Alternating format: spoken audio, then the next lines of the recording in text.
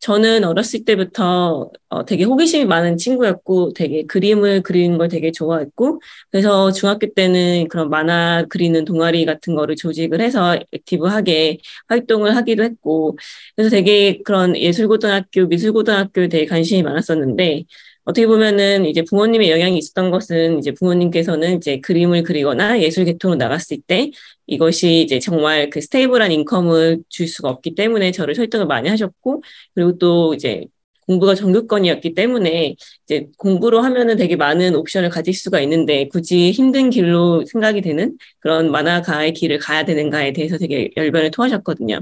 근데 돌이켜 보면은 이제 연구는 절대로 쉬운 길은 아니거든요.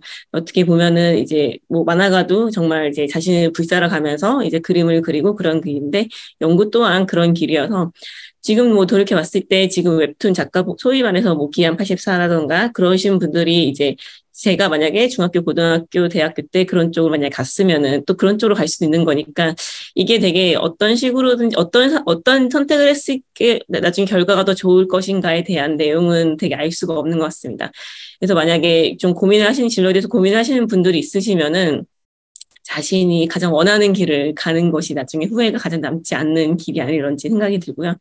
그래서 어떻게 보면은 좀 되게 급한 어, 커브를 그러니까 굉장히 뭐 예술 계통 생각하다가 굉장히 다이나믹 갑자기 또 과학고등학교를 지원했는데 그게 또 돼서 어, 어떻게 하다가 또 과학고등학교를 가게 됐습니다. 근데 과학고등학교에서도 저는 좀 고민이 많았던 게 다른 친구들은 뭐 경시라던가 그런 걸 통해서 굉장히 좀 그런 쪽을 하겠다라고 되게 좀 결심이 선 친구들이 많이 있었는데 저는 말씀드렸다시피 그림을 관심이 많다가 가게 되었기 때문에 거기 가서도 아, 뭘 하지? 내가 고등학교 졸업하고 뭘 하지? 뭐 이런 진로에 대한 고민이 굉장히 많았습니다.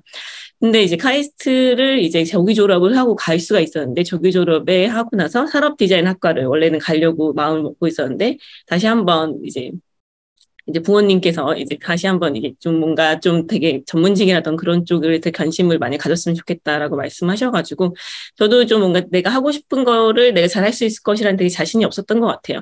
내 관심 있는 건 맞는데 내가 이걸로 성공할 수 있을 것인가에 대한 그런 그런 자신감은 좀 떨어졌던 것 같고 그래서 결국에는 이제 카이스트 뭐 산업 디자인학과를 원래 가려고 했었다가 그거를 포기하고 수능을 보게 되었는데 이제 수능을 보면서도 되게 뭔가 어, 수능을 보면 솔직히 말해서 모든 학과를 전공을 선택할 수 있지 않습니까?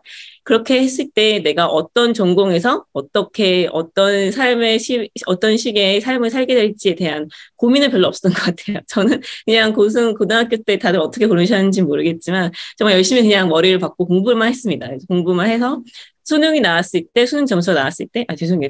잠깐만 사둘게요. 네. 네. 수능 점수가 나왔을 때 거기에 점수를 점수에 맞춰서 이제 갈 수 있는 대학들이 나오죠, 리스트가. 너무 그거 점수 이상으로 쓰면 대학교를 못 가게 될 것이고 그 이하로 쓰면 장학금을 받으면서 갈 수 있고요.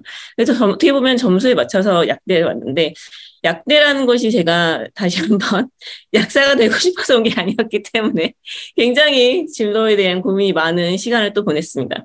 그래서 여기서 제목에서 보는, 아, 보는 것처럼 어떤 그 스텝, 무슨 스텝 뭐 어떤 그 다음 step으로 나갔을 때 이런 고민 되게 많이 했던 거 나는 누구고 나가 원하는 건 뭐고 나는 어디로 가고 싶고 이런 생각을 되게 많이 했던 것 같아요. 그래서 약대는 되게 특이한 거는 이제 생명과 화학 그리고 또 되게 전문직이 전문직으로서 장점을 도 갖고 있지만 그만큼 되게 다루고 있는 분야가 되게 브로드하기 때문에 약대를 졸업하고 나서 회사를 가시는 분들도 있고 병원을 가시는 분들도 있고 약대를 하시는 있고 약사를 하시는 분들도 있고 연구를 하시는 분들도 있고 아예 진로를 털어서 아예 비즈니스 쪽으로 가시는 분들도 있고 굉장히 다양한 졸업생들을 봤습니다. 그래서 또 고민을 많이 했죠. 아 내가 정말로 원하는 게 뭘까? 왜냐하면 가능성이 굉장히 무한했으니까요. 그래서 어떻게 보면은 어떤 호기심은 있었던 것 같아요. 연구는 무엇일까? 이게 생명 쪽 하시는 분들은 이제 학부 전공일 때는 이제 학부 학부 연구생 과정을 통해서 굉장히 많이 이미 접하는 것 같더라고요. 연구가 어떤 것이고 내가 실제적으로 실험도 해보고 근데 이제 저는 약대가 커리큘럼이 워낙에 좀 이제 그런 빡빡하고 수업을 들어야 되는 부분들이 많았고 지금은 많이 이제 setup이 됐지만 학부 연구생 그런 과정이 별로 없었어서 제가 다닐 때는 이미 뭐 몇십 년 전이죠. 그래서 이제 연구라는 것이 무엇일까라는 그런 호기심을 어떻게 보면 충족하기 위해서 석사를 진학하게 되었습니다. 근데 이제 석사를 진학했을 때 이제 제가 좀 어, 되게 좋았던 것 같아요. 그러니까 좀, 아, 이게 내 길이구나라는 어떤 그런 모멘트, 유레카 모멘트가 있었던 것 같은데, 그거는 제가 말씀드렸다시피 제 백그라운드가 제가 원래 그림 그리는 걸 좋아하고, 손으로 뭘 만드는 걸 좋아하고, 그런 사람인데, 이제 약, 그런 연구라는 과정을 들어가서 보아하니, 제 손으로 가설을 세우고, 제가 그걸 직접 실험을 함으로써 그거를 그것이 내가 어떤 가설이 옳은지 그른지 판별하는 과정이더라고요. 그게 이제 단순히 책을 읽는 과정이랑 굉장히 달랐고 제가 저는 스스로 뭔가를 하는 걸 좋아하는 사람이었기 때문에 아 이거구나 내가 내가 갈 길은 이거구나라는 어떤 그런 모멘트가 있었고 석사를 졸업했을 때 석사가 이제 마스터지 않습니까? 그러니까 어떻게 보면은 석사를 졸업했을 때 어떻게 보면 가장 위험한 순간일 수도 있을 거라고 생각을 합니다. 왜냐하면 어느 정도 내가 잘 해왔고 그리고 또 그, 그동안 어느 정도 어느 정도 안다고 생각하고 이제 뭐 디그리처럼 마스터니까 이제 나는 이제 마스 어떤 분야에서 마스터인가라는 생각도 하게 되고요. 근데 하지만 이게 아는 만큼 보이기 때문에 내가 아는 것이 100이라면 100밖에 보이지 않, 습니다 내가 마, 내가 아는 것이 내가 만약에 그 이상의 것이 있다는 것을 알고 있는 상황이라면 내가 100밖에 모르는구나가 되 겠지만 내가 그 이상이 있다는 걸 모르는 상황이라면은 저는 어 굉장히 그 마스터 졸업했을 때 제가 되게 그런 상황이었던 것 같아요. 아 나는 어 석사 때 뭐 이런 논문도 냈고 굉장히 좋은 연구했고 인정도 받았고 그렇기 때문에 자신감이 100% 120% 차 있는 상황이었고 그렇기 때문에 그 상황에서 아 저는 난 당연히 미국에 가서 박사를 할 거고 그렇기 때문에 그런 거를 위한 준비를 했었습니다. 토플이라던가 GR이라던가 지금은 GRE는 보지 않는다고 하시더라고요. 근데 여기서 제가 사전 질문 중에 그 질문 중에 나왔던 내용은 보통 특히 국내에서 석사를 하게 되면은 이제 유학을 가겠다, 박사를 유학 가겠다, 혹은 석사만 졸업을 하겠다라고 말씀을 드리면 교수님들 굉장히 많이 잡으시니까 그때 교수님과 언제 자기가 대화, 그 유학을 가겠다는 말씀을 드렸는지 그리고 박사 유학을 갈 때 지도 교수님이 얼마나 도움이 되었는지에 대한 사전 질문이 있었는데요.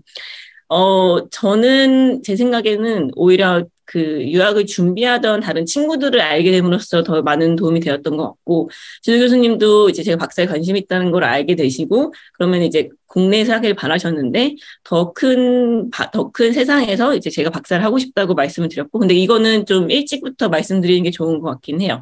그러니까 아예 석사를 들어오면서부터 아니면 석사 초반부터 그러면 이제 지도 교수님도 뭔가 좀 아 얘는 얘는 이제 박사를 다른 곳에서 살아야구나라는 그거를 딱 알게 되시는데 그거를 좀 미리 말씀 안 드리고 막 어 이렇게 해가지고 나중에 가면은 좀 교수님께서는 좀 힘드실 수 있죠. 그러니까 제가 또 교수가 되어 보니 교수가 된 입장에서 보니 아 나는 정말 얘를 정말 사랑하고 얘를 지도를 멘토링을 많이 했고 정말 얘한테 시간과 애정을 많이 투자를 했는데 나중에 아 나한테 박사라고 다른 데 박사를 한다고 하면은 아 이제 사람은 다 이기적인 거잖아요. 그러니까 내가 내가 내가 준 만큼 받을 수 있을까를 사람들이 생각을 할 수밖에 없기 때문에 그런 부분에 있어서 굉장히 약간 심리 게임 그런 네고시에이션 약간 그런 걸 되게 잘 딜을 하셔야 돼요. 제가 생각할 때는 너무 지도 교수님은 평생 가는 분이기 때문에 제가 가장 어, 추천을 드리고 싶은 거는 학부일 때, 그러니까 석사를 들어가기 전에 그런 지도 교수님이 될 수 있을 것 같은 되고 싶은 그런 분들과 선택을 해서 미리미리 그분들과 자신이 잘 맞는지 그것을 그거를 잘 알아보는 게 가장 중요할 거라고 생각을 하거든요. 왜냐하면 일단 누군가의 뭐 석사 혹은 뭐 박사 지도 어, 학생이 되면 이거는 평생 갑니다. 그러니까 결혼과 비슷해요. 결혼을 한 번 하면 한 번 하면 이제 한번 사인을 하면 이거를 끊어내기가 힘들잖아요. 이혼이란 과정이 있긴 하지만 평생 가는 부분이 있기 때문에 한 번 사인을 하기 전에 굉장히 잘 알아보셔야 돼요. 그러니까는 방학 때마다 뭐 학부 연구생으로 인턴십으로 뭐 자, 자대든 아니면 다른 대학교든 관심 있는 분야를 미리 미리 섭렵해서 국내에서 어떤 식으로든지 간에 잘하시는 분들이 있는지 미리 미리 컨택해서 어떻게 보면 사람 대 사람 대 일이어가지고 인간이 나랑 이 사람이랑 잘 맞는가 그거를 잘 아, 아셔야 된다고 생각하거든요. 만약에 정말 연구를 잘하시는 분이지만 나랑 잘 안 맞으면 그건 힘들어요. 석사나 박사 들어가면 굉장히 힘들어요. 그래서 저희가 생각할 때는 가장 전략적인 접근은 미리 미리 알아보고 그분이 그냥 블라인드로 그냥 막 선택하는 게 아니라 그분이랑 나랑 잘 맞을까. 그래서 저는 가장 추천드리고 싶은 거는 학부생일 때 학부생 연구를 그냥 1학년, 2학년, 3학년 때 하셨으면은 외국 대학에도 그런 서머 인턴십 제도가 있어요. 학부생들이 지원할 수 있는. 그러면 미국은 절대로 그런 무료 노동이 불가능하기 때문에 어 다 나와요. 돈이 나와요. 그러니까는 뭐 stipend, 뭐 그런 뭐 기숙사 이런 게 하우지 이런 게 나오기 때문에 만약에 영어가 되시고 영어 학점이 되시고 그다음에 학부 막 1, 2, 3학년 때 참여했던 연구가 좋은 결과를 얻었으면 그것을 바탕으로 해서 충분히 제가 생각할 때는 3학년, 4학년 때 여름 방학 때 외국에 있는 연구소, 외국에 있는 대학교에 학부생 대상으로 한 인턴십에 summer 인턴십에 어, 지원하실 수가 있어요. 물론 그걸 하기 위해서는 미국이나 저는, 저는 미국을 잘 가장 잘 아니까 미국의 미국의 경우에는 강한 추천서가 굉장히 필요합니다. 내가 이 학생을 언제부터 몇, 몇, 몇 년도 몇 월부터 받고 얘는 이런 이런 프로젝트에 관여를 해서 이런 역할을 했고 이걸 굉장히 자세하게 적어주실 분이 필요해요. 그냥 단순하게 아 이 학생은 내 지도 학생이어서 뭐 좋은 학생이야 이 정도로는 안 됩니다. 근데 그런 식으로 교수님이 그 정도까지 적어주려면은 그 교수님과의 관계를 굉장히 어려, 굉장히 어렵고 뭐 1학년, 2학년 때부터 미리 쌓아두셔야 되죠. 단순히 수업을 듣고 그런 뿐, 그런 것뿐만 아니라. 그래서 제가 생각할 때는 좀 연구의 길이, 연구에 대한 마음이 이미 서신 분들은 좀 미리미리 하셔야 될 것 같고, 미리미리 준비를 하셨으면, 만약 지금 만약 학부생이시면은. 근데 이제 석사생이시면은 또 그런 부분이 있어요. 그런 한국, 그런, 제가 저도 잘 모르지만, 이 검색을 좀 해보니까, 한국연구재단에서 어, 이공계 혹은 뭐 여성 뭐 이런 분들이 이제 교환학생 같이 6개월이나 3개월 정도 외국에 나갔다가 들어올 수 있는 그런 부분들이 있어요. 그래서 내가 석사 학생이다. 박사를 지원할 거다. 하지만 어, 교수님과 이민 얘기 끝났다. 난 석사만 하고 나간다. 근데 내 석사 과정이 2년이 아니라 2년 반 정도 되는 거를 이렇게 뭐 그런 상상하지 않는다고 하면 저라면 석사 때 그런 교환 프로그램을 이용을 해서 내가 가고 싶은 연구소, 내가 가고 싶은 학교에 갔다 올 것 같아요. 왜 그게 중요하냐? 박사를 지원을 하거나 포닥을 지원을 하거나 한, 미국, 미국 한국도 그렇지만 미국은 내가 그 사람을 아는가가 굉장히 중요합니다. 그럴 때 내가 만약에 3개월이라도 그 교수님 실험실 밑에서 학생으로서 있다. 그러면 그 교수님은 3개월 동안 나를 본 거죠. 그 날 보고 다른 미국 대학에 지원하더라도 굉장히 강한 추천서를 쓸 수 있습니다. 예를 들어서 뭐 한나라고 하면 한나라는 학생은 뭐 1월부터 3월까지 내 연구실에서 이런 이러한 역할을 수행을 했고 그동안 어떤 포도량 일을 하면서 좋은 결과가 나와서 논문에 들어갔고 굉장히 자세하게 기술할 수 있기 때문에 내가 미국 박사 과정을 지원할 때 추천서가 3명 다 한국 교수님 가, 같은 대학교에 있는 것보다 한 명 정도는 외국 대학교 나랑 직접적으로 연관이 있는 교수님, 나를 아는 교수님이 들어간 게 굉장히 스트롱하기 때문에 생각할 때는 이제 학부생일 때는 학부 인턴십, 뭐 석사생일 때는 석사 인턴십 그런 식으로 할 것 같고요. 박사 과정이시더라도 나중에 토, 나중에 postdoc을 나가실 때 이런 식으로 연을 맺으, 인연을 맺으시는 게 굉장히 중요해요. 그러니까 그, 그 방법이 제가 생각할 때 두 가지 정도 될수 있을 것 같은데 이런 식으로 한국 연구재단이라던가 그런 쪽에서 funding을 받아서 가시는 경우도 있을 수 있고 지도 교수님과 굉장히 연관 그 아, relationship 굉장히 좋으신 분들을 선별을 해서 그분들한 그분들의 실험실에 테크닉을 배운다던가 그런 식으로 해가지고 몇 개월 가 있으면은 같은 한국 분들 같은 한국 분이지만 어쨌든 그 교수님은 뭐 미국이나 유럽에 계시는 교수님이기 때문에 그쪽에서 온 그 reference letter가 굉장히 strong하게 작용할 수 있습니다. 그래서 생각할 때는 어 어떤 식으로든 간에 해외 경험을 쌓고 싶은 분은 그리고 또 좀 좋은 데 가고 싶잖아요. 좋은 실험실에서 그런 경험을 갖고 싶은 분은 어, 외국에 가서 몇 개월이라도 이제 그런 교환 프로그램 했던 그런 그런 그 스펙을 쌓는 게 굉장히 어, 도움이 될 거라고 생각합니다. 그래서 이제 저는 석사 때 솔직히 말해서 논문이 좀 잘 나왔어요. 그 저는 GPA도 굉장히 평범하고 뭐 3점 몇이고 평범한데 저는 솔직히 말해서 석사를 안 했으면 박사를 못 갔을 것 같습니다. 하지만 제가 박사를 나와 보니 석사를 하지 않아도 학부만 졸업하고서도 박사를 나오신 분들이 굉장히 많더라고요. 근데 그분들은 제가 말씀드렸다시피 학부 때부터 연구를 굉장히 많이 해서 교수님과의 연관 그, 그 인연도 굉장히 깊고 그래서 굉장히 강한 추천서를 받고 그리고 뭐 좋으신 분들은 뭐 운이 좋으신 분들은 이제 논문도 이제 코어서로 공, 공저서로 들어가 계신 분들도 있고 그런 식으로 좀 미리미리 준비하신 분들은 뭐 저 같은 경우에는 석사를 하고 나서 영어 토플이라던가 지열을 준비했기 때문에 뭐 3년 반, 학부 졸업하고 3년 반 후에 이제 박사를, 박사에 시작하게 되었는데, 그런 time loss, 그러니까 결국 4년인데, 4년을, 4년의 그거 필요 없이 바로 학부 졸업하자마자 6개월 후에 박사를 들어가시니까 어떻게 보면 시간이 굉장히 많이 save가 된 것일 수도 있고요. 어, 그러니까 결국엔 자신이 얼만큼 열심히 알아보고 자신의 길을 많이 하는가에 따라서 많이 달라지는 것 같고요. 미국에서 생활은 이제 저는 이제 뉴욕 맨하탄에 위치한 그 Weill Cornell, 그러니까 코넬 대학교가 시즌 Ithaca라는 뉴욕 맨하탄에서부터는 차로 5시간 떨어진 곳에 위치를 하고 있는데요. 본교는, 메인 캠퍼스는. 근데 이제 그 medical college, 그러니까 의대는 병원과 함께 있어야 되기 때문에 맨하탄, 한, 맨하탄의 한 복판에 위치하고 있습니다. 그렇기 때문에 제가 이제 박사 과정에 들어간 이제 코넬 의대는 이제 Memorial Sloan Kettering Cancer Center라는 연구소인데 이거는 어, MD 앤더슨과 함께 미국, 전 미국 내 1, 2위를 다투는 암센터입니다. 이게 정말 길 하나 사이를 두고 이제 마주보고 있어요. 그러니까 뭐 연대, 이대는 그래도 길 하나는 약간 이렇게 비껴져 있는데 여긴 진짜 정말 마주보고 있거든요. 그래서 여기서 그 PhD 학생을 받으면 실험실이 연구소에 굉장히 많이 있기 때문에 MSKCC, Memorial Sloan Kettering Cancer Center에 갈 수도 있고 아니면 Weill Cornell에도 갈 수가 있고 그런 식의 affiliate 되어 있는 PhD 프로그램 운영을 하고 있습니다. 그래서 이제 저는 이제 오퍼를 되게 많이 받았었는데, 되게 아닌데, 어쨌든 좋은 학교를 많이 받았었는데, 학교를 선택을 해야 되잖아요. 왜냐면 내가 모든 학교에 갈 수 있는 건 아니니까. 근데 이제 사전 질문에서 나왔던 부분은 학교 선택의 기준이 있었냐, 어, 생활비를 어떻게 말을 하셨냐, 어, 이런 질문이 나와서 제가 간단하게 적어놨는데, 지금은 저는 이 stipend를 못 받았죠. 왜냐면 저는 졸업한 지 됐으니까. 근데 이게 굉장히 가파르게 오른 부분이기도 하거든요. 미국도 인플레이션이 심해서.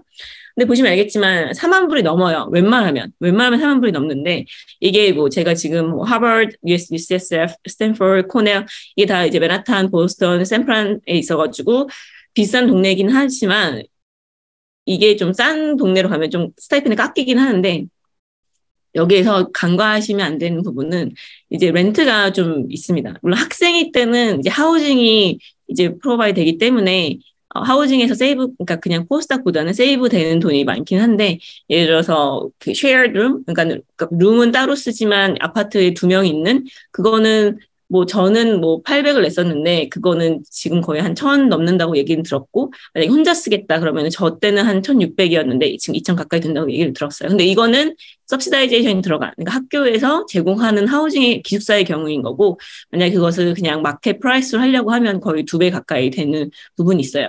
그래서 만약에 어 학생인데 가족이 있고 아이가 있고 이러신 분들은 이걸로 살긴 힘드세요. 그러니까는 어떻게 보면은 미국이나 한국이나 이런 뭐 미국 저는 이제 미국을 얘기했지만 한국도 제가 듣기로는 요즘에는 석사든 박사든 이제 어느 정도 어느 정도 이제 생활 생활 이상을 할 수 있는 돈이 나온다고 들었거든요. 거기서 장학금을 받으면 또 더 그게 additional 하게 되고 근데 이게 한국이든 미국이든 그걸로 굉장히 풍족한 생활을 하기는 힘듭니다. 생활은 가능한데 이거는 어떻게 설정됐다고 하면은 1인 가구 기준으로 생활이 어 비참하진 않는 그 정도, 딱 그 정도로 생각하시면 돼요. 지금 숫자상으로는 되게 많아 보이고 또 환율 때는 되게 커 보이지만 실질적으로 물, 미, 물가가 미국은 어, 필수적인 부분에서 굉장히 비싸요. 집값이라던가 그 밖에서 막 사 먹는 거라던가. 그러니까 결국에는 뭐 집안에서 아, 혹은 뭐 되게 이렇게 아껴서 살게 되는 수밖에 없거든요. 대학원생은. 여튼 생활비 부분 대해서는 보통은 학교에서 stipend를 주는 오퍼를 줍니다. 만약에 stipend를 못 받으셨다. 그러니까 stipend를 주고 그다음에 tuition waive 되는 거를 주고 이게 이걸 못 받으셨다 그러면은 가시지 않는 편이 좋을 것 같습니다. 솔직히 말씀드리면. 왜냐하면 그 말인즉슨 다른 학생들은 다 받는데 자기만 못 받았다는 걸 수도 있고요. 아니면은 이게 그 학교 자체가 어 그런 외국인이라든가 그런 학생들한테 튜이션 그러니까 등록금을 받아서 운영을 하겠다는 거기도 하, 하거든요.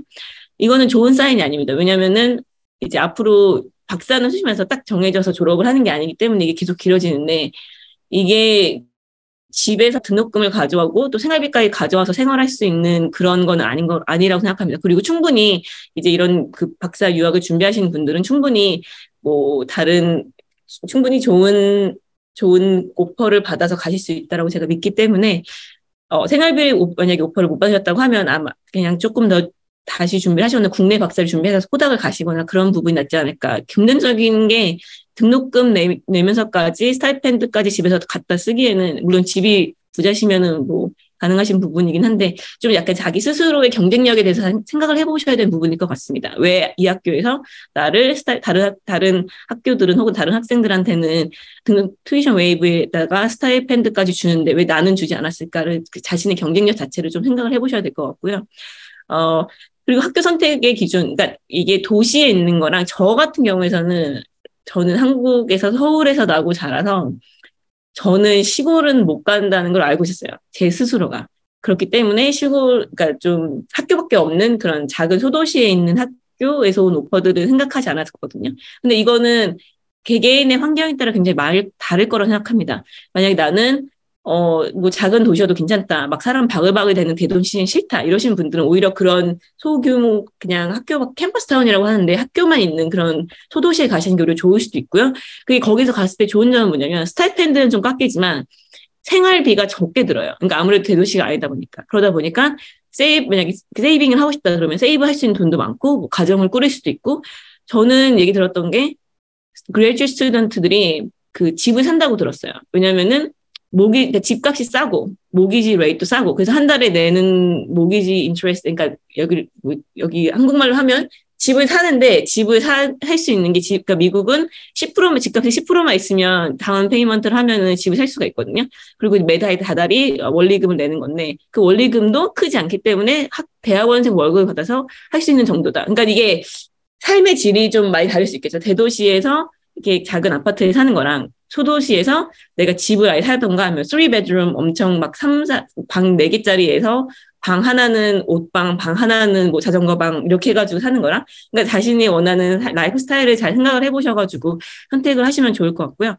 어, 의사소통 영어를 어떻게 하셨냐는 질문도 있었는데 저는 이제 저는 싱글로 갔기 때문에 이제 미국의 친구들을 많이 사귀었고 그리고 이제 좀 그렇게 한 3년을 그렇게 지내다가 한국 커뮤니티 너무 그리워져가지고 결국엔 나중에 한국 사람들이랑 교류를 했는데 의사소통은 너무 개개인이 차이가 되게 많이 클 것 같아요. 그리고 지금은 이제 제가 알기로는 한국의 대다수의 대학교 분들이 어, 학부를 졸업을 하시면서 보통 영어 수업을 듣고 이렇기 때문에 저보다는 훨씬 더 익스포즈 됐다고 생각을 하는데 힘들었어요. 저는 저는 힘들었어요. 왜냐면은 뭐 제가 저는 교환학생 나간 적도 없었고 왜냐면 교환 약대는 1년 커리큘럼이기 때문에 6개월 이렇게 다녀올 수 있는 건 아니어가지고 1년짜리를 갔다 왔어야 됐는데 그게 좀 부담이 됐어가지고 예, 뭐 그래서 갔는데 수업을 듣는데 거의 절반을 못 알아듣겠더라고요. 이게 내가 분명히 아는 단어인데 미국에서 발음하는 거랑 어 제가 발음 하는 거랑 다르고 의사소통은 뭐 개개인의 편차 너무 커서 단순히 말하기는 힘든데 제가 생각할 때는 가장 좋은 방법은 현지 일단은 몇 개월, 1년 정도는 미국 그 사회에 조금 더 어, 이렇게 좀 들어가서 거기 안에서 친구들을 사귀고 거기 안에서 일단 거기 적응을 해야 되는 부분이 있으니까요. 한인 컵 처음부터 한인 커뮤니티랑 굉장히 강하게 되면은 수업 듣고 그거 외에는 한국인 친구들이랑 한국인 한국말로 떠들면서 한국인 드라마 보면서 막 이런 식으로 소, 시간을 계속 보내다 보면은 영어가 늘기가 굉장히 어렵습니다. 그래서 최대한 많은 시간 영어를 사용하는 친구들과 시간을 보내도록 노력을 하는 부분이 중요하다고 생각이 들고요. 그리고 또 군대 문제에 대해서 질문하신 분 계시더라고요. 이제 제가 이제까지 이제 경험을 하면서 봤던 케이스가 몇 개 있었는데 이게 해외에서 좋은 대학 대학원을 졸업을 하시고 그분이 이제 아직 군대를 문제 해결 안 했을 때 아예 뭐 미국, 미국에 있다가 한국으로 들어와서 호닥을 하시면서 병역 특례를 하시는 분들이 봤어요. 연구소, 연구, 연구실에서. 그러니까 뭐 김빛내리 교수님이라던가 IBS라던가 뭐 KIST라던가.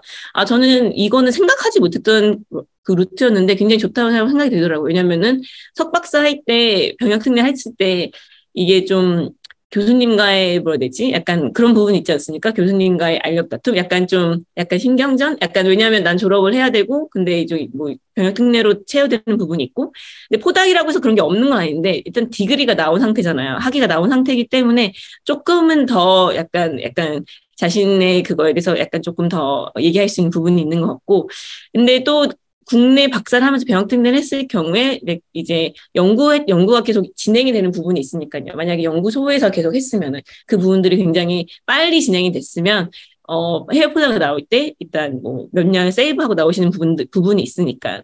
그래서 그런 식으로 되게 많이 하는 걸 봤고요. 제가 지금 채팅이 나온 것 같은데. 아, 네. 그래서 제가 생각할 때는 한, 그 대학원이, 대학원이 어 제 저는 뉴욕에서 굉장히 재밌게 대학원 생활을 했습니다. 그래서 저는 뉴욕 만약에 뉴욕에서 있는 뉴욕에 되게 그 대학원이 많아요. 연구소도 되게 많고 뉴욕에서 만약에 박사과정을 하고 싶다라는 분이 계시면은 저는 어, 강추를 드리고 싶고 제가 나중에 이메일 이메일 제가 공개할 건데 이제 만약에 더 궁금하신 부분이 있으면 개인적으로 이메일 주셔도 괜찮습니다. 그래서 박사 과정을 끝내고 나서 저는 샌프란시스코에 있는 Gladstone Institute에서 이제 postdoc을 진행을 해왔는데요. 이게 postdoc을 진행을 할 때, 그러니까 postdoc lab을 어떻게 결정했냐라는 질문이 있었어요. 저 같은 경우에서는 굉장히 다양한 루트를 이제 진행을 해왔는데, 이게 그냥 cold email이라 그냥 이메일 보내는 거예요. 근데 요새 약간 다들 아시겠지만 이메일 있으시면 아시겠지만 이메일 굉장히 많이 오잖아요. 근데 조금 내가 가고 싶어 할 만큼 좋은 실험실을 운영하고 계신 교수님은 제가 받는 이메일보다 한 몇 배는 더 받으실 거 아니에요. 근데 몇십 개의 이메일 중에서 내 이메일이 이렇게 쫙 눈에 띄려면은 두 가지가 있는 것 같아요. 논문이 가장 좋아야 돼요. 논문이 가장 굉장히 좋으면 박사 때, 아, 내가 셀 넥스 사이언스를 냈다. 아, 그 이메일은 절대로 놓치지 않습니다. 왜냐면은 뭐 postdoc을 지원하는 사람들 이렇게 답장 안 하더라도 들어가서 CV를 이제 첨부를 해놓으면 이렇게 보거든요. PDF니까 핸드폰으로 보는데 science 아 바로 답장합니다. 교수님들한테 가장 강하게 답장을 받을 수 있는 건 굉장히 좋은 science죠. 근데 cover letter 되게 중요해요. 그러니까 이메일의 내용에 그냥 뭐 CV만 내 resume만 이렇게 첨부할 게 아니잖아요. 그러면 그 cover letter라고 그 이메일 내용을 적어야 되는데 그거는 이게 미국에서 이제 교육을 받거나 그러신 분들이 아니면은 좀 모르실 수 있는데 cover letter가 굉장히 중요합니다. 그러니까 이메일 아니고 그냥 letter라 그냥 letter라고 생각을 하면 정말로 메일로 보낸다고 생각을 하면 한 장짜리를 위에 얹는 거예요. 그러니까 내 CV, 내 논문을 print out 해가지고 이렇게 자료를 만들고 cover letter는 그 위에 얹는 건데 이 얹는 그 그게 포맷이 있어요. 그 교수님한테 그 교수님의 연구가 나의 research interest랑 어떻게 연관이 되어 있고 나는 당신의 실험실에서 어떤 연구를 할 수 있고, 그러니까 어떻게 보면 리서치 아이디어까지 붙이는 거죠. 그런 식으로 굉장히 잘 적어야 돼요. 이거를 딱 읽으면, 어, 얘 내 논문을 읽어봤네? 나 뭐 하는지 아네? 내가 앞으로 관심 있는 거 얘가 뭐 할 수 있겠네? 약간 딱 그런 생각이 딱 들 정도로. 그리고 영어는 무조건 잘 써야 됩니다. 그러니까 이게 그래머가 만약에 커버레터에서 틀렸다? 그러면은, 음, 특히나 나이 좀 있으신 교수님들은, 어, 영어를 이 정도로 하는 애를 내가 데리고 와서 뭘 할 수 있을까? 그렇기 때문에 커버레터가 정말 자신의 모든 거를 그냥 딱 한 장짜리 이메일을 보내, 보여준다고 생각하시면 돼요. 어떻게 보면 커버레터가 먼저 그 다음에 CV를 보잖아요. CV로 들어가는 것도 클릭이 한번 들어가기 때문에 커버레터에서 뭔가 다 표현해주면 좋아요. 나는 뭐 서로 스탬프 이런 게 필요한 게 아니라 나는 여기에서 박사를 하면서 이런 연구를 했고 너의 리서치를 봤을 때 내가 너네 실험실에 가서 뭐 이런 연구를 할 수 있을 것 같아. based on my previous experience. 뭐 이런 식으로 딱 그렇게 한 몇 문, 몇, 몇 문단으로 해서 이런 부분은 좀 미국에서 뭐 온 지 얼마 안 된 뭐 저 같은 아니면 좀 약간 미국에서 경험을 많이 해보신 혹은 얼마 전에 postdoc을 나가신 분들 이런 분들이랑 contact을 해서 어떤 식으로 접근하셨는지 이런 식의 이 cover letter를 그런 거 좀 보시면 좋아요. 이거를 아니 그냥 혼자 쓰긴 좀 힘든 부분이 있습니다. 어떻게 보면은 가장 중요, 가장 편한, 가장 확실한 방법은 내가 내가 뭐 해외 포닥이든 국내 포닥이든 내 TDC 어드바이저, 그러니까 논문 심사를 해주신 교수님, 혹은 내가 박사과정 동안에 나의 프로그레스를 옆에서 잘 봐주신 교수님이 아는 교수님한테 야, 얘 뭐 기현이라는 애가 이번에 졸업하는데 어, 얘 진짜 잘해. 라고 전화를 하거나 이메일을 넣어주신 게 가장 확실해요. 그러니까 나라도 제가 뭐 지금 이제 교수가 된 입장이지만 누군가 사람을 저도 뭐 저도 막 뽑고 있는데 누군가 전에 전화해서 야 있잖아 그 뭐 A라는 학생 너네 실험실에 관심 있다고 하는데 내가 생각할 때는 A 진짜 열심히 하고 내가 학부생 때 데리고 있었는데 아 진짜 열심히 하고 똑똑해 그렇게 전화를 받으면 물론 저도 그 학생을 보겠지만 내가 그 다른 학, 그, 제 친구 다른 교수님을 신뢰하는 만큼 그 교수님이 얘기하는 걸 믿습니다.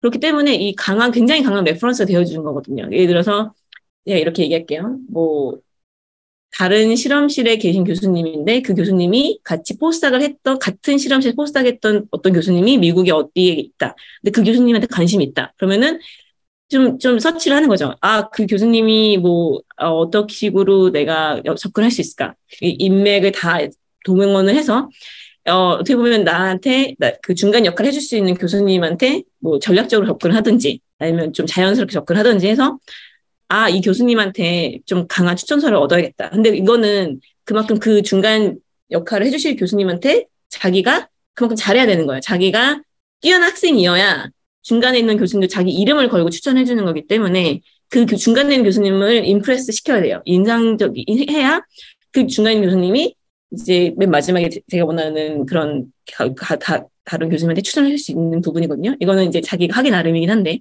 어쨌든 중간 매체가 되어 주실 수 있는 교수님이나 다른 호닥불이나 이런 분이 있으면 가장 좋다. 그리고 이제 제가 또 많이 사용했던 부분인데 학회에 가서 아 소위 말해서 schmoozing이라고 하는데 미국 말로 이제 접근을 하는 겁니다. 왜냐하면 학회에 보통 이제 plenary lecture 혹은 프로그램이 나와요 몇 달 전에 아 누가 발표를 할 거다 소위 말해서 그런 학 필드에서 굉장히 유명하신 교수님들이 와서 발표를 할 거라고 떠요. 어 근데 나는 그 교수님한테 가야겠는 거야. 그 교수님한테 관심이 많은 거예요. 그러면은 그 학회에 등록을 하고 그다음에 물론 포스터라던가 이런 부분들이 잘 준비가 돼야겠죠. 호닥을 나갈 때 정도 되면 박사 과정 때 연구가 많이 마무리가 되고 어 그거를 이제 누가 이렇게 툭 찔러도 이게 미국식으로 하면 elevator speech라 그러는데 한 3분, 1분 안에 내 연구를 딱 포인트만 해가지고 딱 얘기할 수 있어야 돼요. 그 정도까지 자기 스스로를 준비시켜 놓고 학회에 가는 거죠. 그리고 이제 보통 그렇게 약간 스타 과학자 부신 분들은 이렇게 가면은 지나가면 이제 학생들이나 다른 교수님들도 이렇게 좀 약간 모이고 이런 부분이 있기 때문에 좀 눈에 띄어요. 아니면 눈이 안 띄면 좋은 거죠. 왜냐면 내가 가, 접근하면 되니까. 가서 Hi 이런 식으로 얘기하는 거죠. 그냥 Hi, I'm Giang Lee from uh, Y Cornell, from Manhattan 이런 식으로 해가지고 근데 그냥 딱 몇 마디 안 해야 돼요. 왜냐면 바쁘거든요. 학회는. 나 이번에 어디 어떤 나 박사 때 이런 연구했고 어디다 논문 냈고 네 리서치 인트레스를 보니까 나랑 접근이 나랑 되게 잘 맞을 것 같아서 포스터 지원하고 아, 잘 맞을 것 같아. Are you looking for postdoc? And do you have any available postdoc positions? 그렇게 되고 되게 되게 시간이 짧다 그러면은 아니면 뭐 제가 나중에 말하겠지만 키스톤이라던가 골든 컨퍼런스 같은 경우에는 한 300명 모이거든요. 굉장히 작아요. 굉장히 작기 때문에 그 안에서 이게 약간 이렇게 좀 부딪히는 시간이 굉장히 깁니다. 그럴 경우에서는 이런 식으로 되게 어그레시브하게 하면은 조금 더 안 좋을 수가 있어요. 그런 식으로 좀 약간 그 교수님이 엄청 대형 학회에서 나랑 찰나의 시간 동안 1분밖에 그 사람이랑 마주칠 시간이 없다. 그러면은 이렇게 elevator speech로 1분 만에 슉 얘기했지만 그게 아니라 조금 스모, 소규모여서 그 교수님이랑 계속 이렇게 뭐 dinner table 같은 거 한 원래 디너를 좀 오래 먹으니까 미국 사람들은 한두 시간 정도 얘기를 할 수 있다. 혹은 그런 그런 그런 그런 opportunity가 있다 그러면은 조금 더 인간적으로 접근하셔야 돼요. 아, 나는 어떤 식으로 연구를 하고, 하는, 하고 있고, 어떤 식으로 하고 있는데, 일반적인 게 아니라 대화를 하셔야 돼요. 그 교수님이랑. 그래서 그 교수님한테, 아, 얘는 나를 숭배하는 혹은 나한테 접근하는 애들이랑은 좀 다르네? 나랑 되게 대화를 하고 싶어 하네? 내 얘기를 들어주네? 약간 그런 식의 접근하시는 게 조금 더 유효했다고 저는 제 경험상 얘기를 생각을 하고요. 그리고 약간 포닥을 지원할 때 출판 논문을 어느 정도 준비를 하셨냐. 이거는 그냥 좋으면 좋을수록 좋아요. 그냥 남들이 다 좋다고 하는 CNS 있으면 좋고, 그거 안 되면 자매지면 좋고, 그게 만약에 내가 없다, 다 없다. 근데 짜잘짜잘한 거, 뭐, 이렇게 좀 impact factor 조금 높은 거, 나쁘지 않은 것들이 있다. 그러면은 가장 좋은 거는 이 cover letter나 이런, 이런 뭐, 프레젠테이션 준비할 때 스토리를 만드셔야 돼요. 미국은 가장 중요한 게 스토리텔링이에요. 내가 단순히, 아, 그 제가 그 한국에서 박사하신 분들 얘기하는 것 중에 가장 좀 싫었던 부분은 뭐냐면, 이거 왜 하셨어요? 그러면, 아, 교수님이 시켜서 했어요. 아, 저는 그게 진짜 약간 필패라고 생각하거든요. 인터뷰를 하는데 아 이거는 아 why why did you start this topic 이러면 oh because my my professor got the funding of this. oh my god. 이거는 굉장히 수동적인 부분이고 저 제가 생각할 때는 박사를 졸업할 때쯤은 이제 연구자분들이 어떻게 보면 독립적인 연구자로서 어떤 역할을 하셔야 되는 부분인데 그, 그런 스테이지라고 생각을 하는데 그때 대답이 아 누군가가 나한테 요청을 했다. 아 이거는 정말 정말 해선 안 되는 대답이라고 생각을 하고요. 그쵸. 시켜서 했겠죠. 했지만 대답은 그렇게 하면 안 되는 거예요. 그리고 나중에, 나중에 자기가 발표를 할 때 어떻게 해야 되냐. 스토리를 만든다고 했죠. 나는 이 프로젝트를 통해서 이런 거에 관심을 가져게 됐고, 그렇기 때문에 그 다음 프로젝트로 넘어가서 이런 부분을 보고 싶었고, 앞으로 이걸 보고 싶다. 이거는, 어, 기승전결이 완벽해야 됩니다. 이게 뭐 cover letter를 쓸 때도 그렇고, 내가 나중에 인터뷰를 초청을 받아가지고 인터뷰를 가서도 그렇고, 단순한 내, 나열이면 안 돼요. 단순히 내가 어떤 걸 할 수 있어요. 내가 flow cytometry 할수 있어요. 단순히 내가 western 할수 있어요. technician으로 가는 거 아니거든요.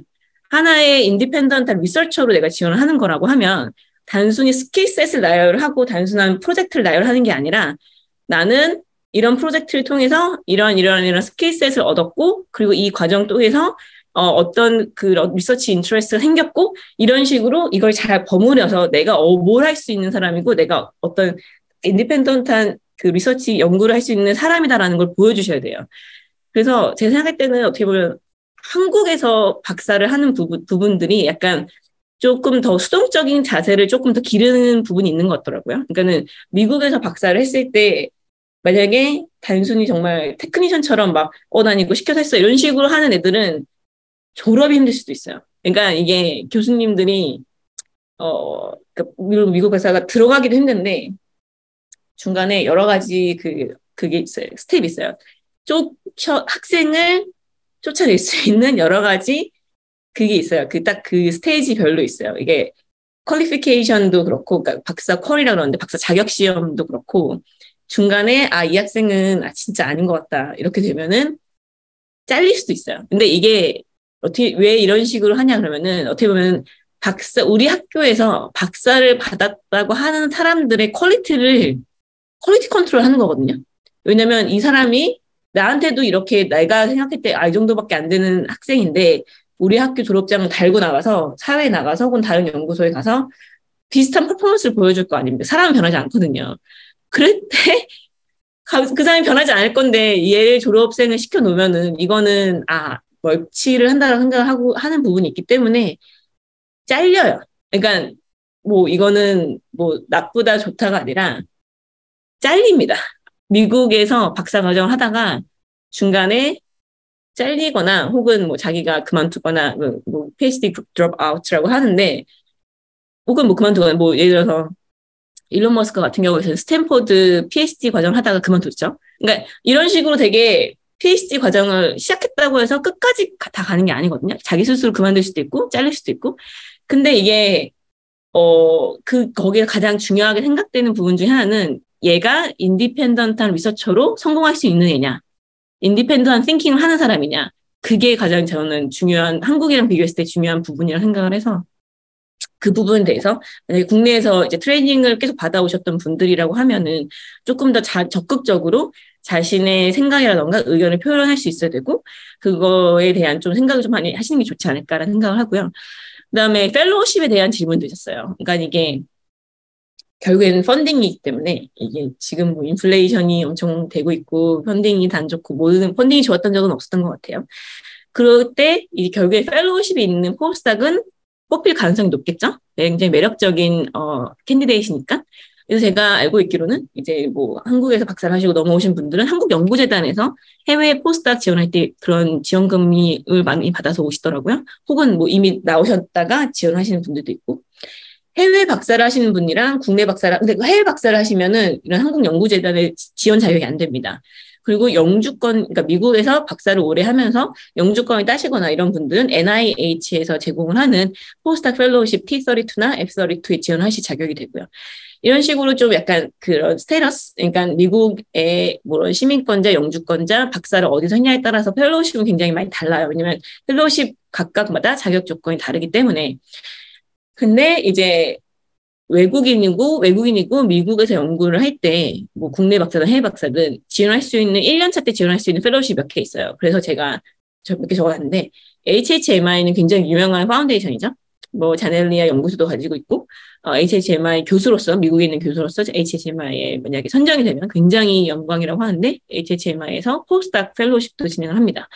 어, 제가 알고 있기로는 지금 현재 상황은 모르겠는데 제가 알고 있기로는 minority 그리고 약간 젠더로는 female, 그러니까 minority, eligibility가 minority예요. 그러니까 minority에 해당되는 것 중 하나가 젠더였기 때문에 female이면 지원이 가능하고 뭐 non-binary, 어, 뭐 queer, gay, 뭐 이렇게 보면 이게 되게 다 가능해요. 어, 그렇기 때문에 어떻게 보면 Caucasian male이면은 불가능한 부분이 있기 때문에 어떻게 보면은 역차별이라고 부를 수도 있는데 어쨌든 foundation이 원하는 인재상이 minority이기 때문에 그리고 Damon Runyon 같은 경우에서는 이것도 굉장히 유명한 postdoc fellowship인데 어, 이 같은 경우에서는 cancer 쪽을 많이 하고 있는 걸로 알고 근데 cancer라고 되어 있지만 시적으로 받으신 분들이 basic science를 하시는 분들이 어, 꼭 cancer를 할 필요는 없는데 약간 이렇게 어플리케이션 쓸 때 cancer 쪽으로 조금 쓰면 된다고 알고 있고요.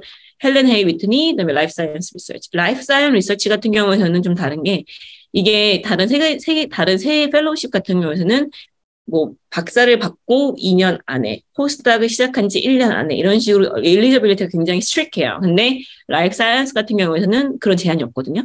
근데 그 말인즉슨 내가 postdoc 1년 차인데 postdoc 2년 차, 3년 차, 4년 차, 5년 차랑 경쟁을 해야 된다는 의미예요. 그럼 당연히 postdoc 3년 차, 4년 차가 나보다 preliminary, preliminary 데이터가 많을 것이고, 뭐, 몇몇 분들 같은 경우도 이미 논문이 나와 있는 경우도 있을 수 있잖아요. 그래서 오히려 eligibility는 약간 loose하지만 경쟁력은, 아, 경쟁률은 더 높을 수 있다는 거. 근데 이제 제가 이제 박사를 졸업할 때 저는 Cell Stem Cell paper가 있었고 Cell Nature Science paper는 없었거든요. 근데 저희 박사 지도 교수님이 이제 그 Helen Hay를 받으셨어요. postdoc 할 때 그분이. 그래서 제가 아, 저 교수님처럼 뭐 여기 다 지원을 해보려고 합니다. 그랬더니 박사 지도 교수님이 딱 한마디 하셨어요. 기현, you don't have CNS. 그 말인즉슨 뭐냐면 여기에서 지원하는 풀을 생각을 해봐라. 박사를 받았을 때 논문이 검, 굉장히 좋은 친구들이 지원을 할 때, 할 텐데, 너는 셀스텐스밖에 없는데 이게 되겠냐라고 말씀하셔서 저는 굉장히 속상했거든요.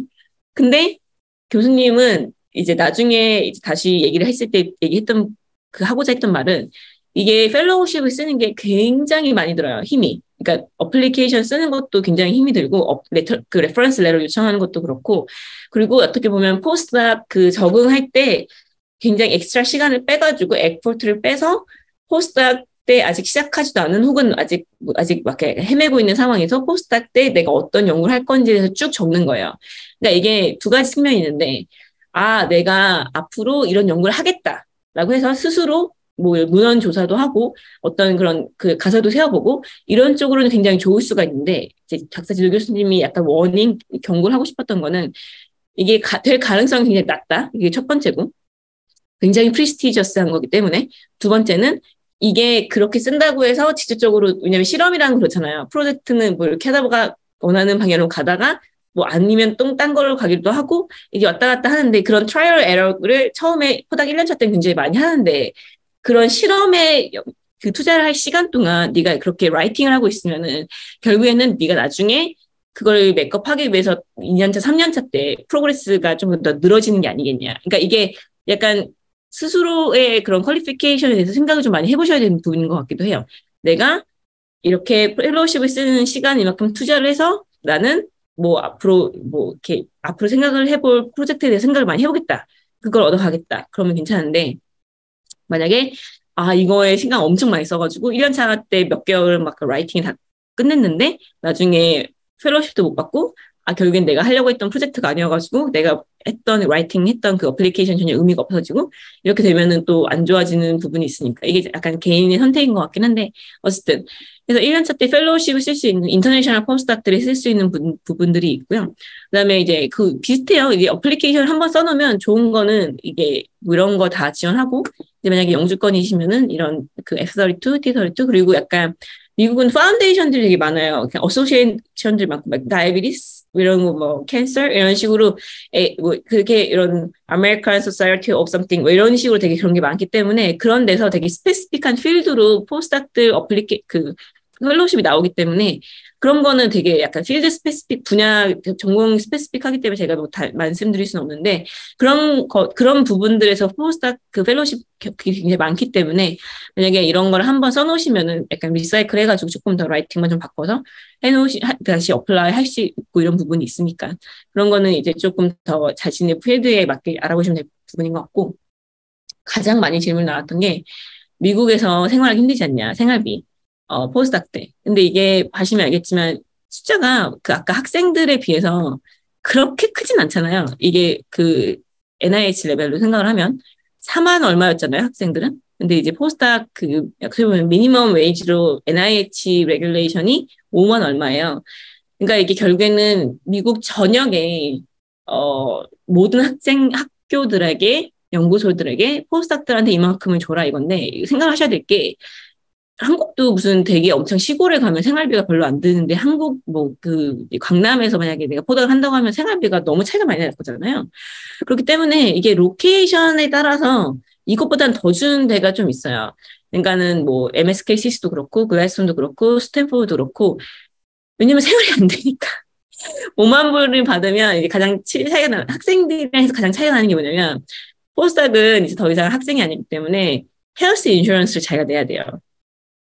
아 health insurance 게 뭐 물론 한국에서 이제 일을 하셨던 분들 몇십만 원씩 나가시는 거 아시겠지만 미국도 작, 적지 않거든요.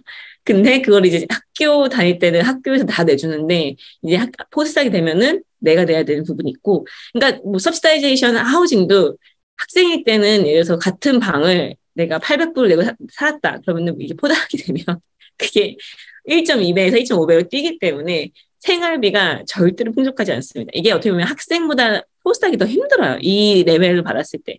물론 대도시 기준이에요. 물론 소도시에 가시면 이걸 받아도 되게 풍족하게 해줄 수도 있고요.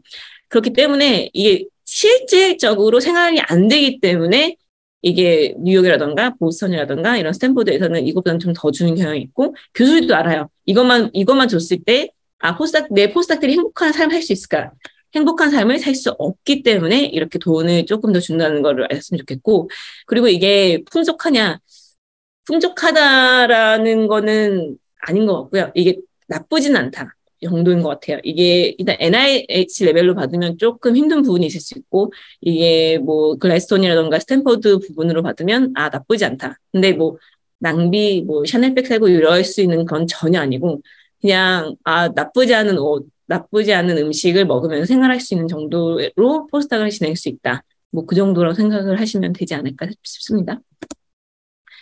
이제 가장 중요했던 부분은 어떻게 보면은 이제 가장 말씀드리고 싶었던 부분은 왜냐면 제가 생각할 때 뭐 박사 지원이나 포닥 지원은 다른 분들도 되게 많이 하셨던 것 같아서 제가 하고 싶은 제가 어 아 질문 있었네요. 안녕하세요 교수님 1년차 펠로십 지원 시기를 마치고자 졸업을 늦추는 것에 대해서 어떻게 생각하시는지 궁금합니다. 이게 정확하게 제가 했던 건데 아 왜냐면 제가 6년차 때 졸업을 할 수 있었는데 논문을 준비했던 게 있어 하고 있던 게 있었고 그다음에 제가 1년차 때 펠로우십 이제 쓰고 싶었던 부분이 있었기 때문에 아이고 이거 제가 1년 늦었어요. 그래서 7년차 때 졸업했는데 이게 장단점이 있는 게 어, 일단 펠로우십을 쓸 수는 있는데 이게 말씀하셨 내가 말씀드렸다시피 이게 가능성이 얼마나 있는지에 대해 생각을 해봐야, 해봐야 된다고 하셨잖아요. 저는 이걸 다 이걸 저는 이걸 다 냈는데 결국엔 된 거는 NIH에서 에서 준 거였거든요. 그러니까 이게 뭐 결국엔, 결국엔 연구, 교수라는 직업이 아카데미아 필드에서 있으실 거면은 연구비를 쓰는 그런 경험을 계속 준비를 하셔야 되기 때문에 연구비를 쓰는 그런 연습을 계속 하셔야 되기 때문에 하나 정도는 분명히 쓰는 게 좋은데 이게 1년 차를 이제 박사를 졸업하고 그 실험실에서 한다. 제가 생각할 때는 그러실 거면은 졸업을 늦추는 게 좋을 것 같아요. 어차피 내가 박사 졸업을 지금 하든 내년에 하든 나는 이 실험실에 내년까지 있겠다라는 생각이 있으면 그냥 이 실험실을 떠날 때로 졸업을 하는 게 좋을 것 같아요. 어, 이게 장단점이 있어요. 이게 fellowship 이 이제 미국에 있는 특히나 미국에서 fellowship 그게 opportunity가 1년 차 때 있는 게 많아서 그런 것도 있고 어, 두 번째는 박사가 좀 길어지면은 그렇게 조, 막 엄청 베스트는 아닌 것 같아요. 그러니까 제가 생각할 때는 저 친구들 막 7년 반, 막 이런 친구들이 있거든요. 근데 문제는 5년이나 6년을 하고 postdoc을 지원해서 다른 데서 postdoc을 지원한 친구들에 비해서 항상 이제 비교를 안 하려고 하지만 항상 인간은 비교를 계속 하고 있기 때문에 어, 저 친구는 이렇게 보시면 알겠지만 이게 연차에 따라서 월급이 올라가잖아요.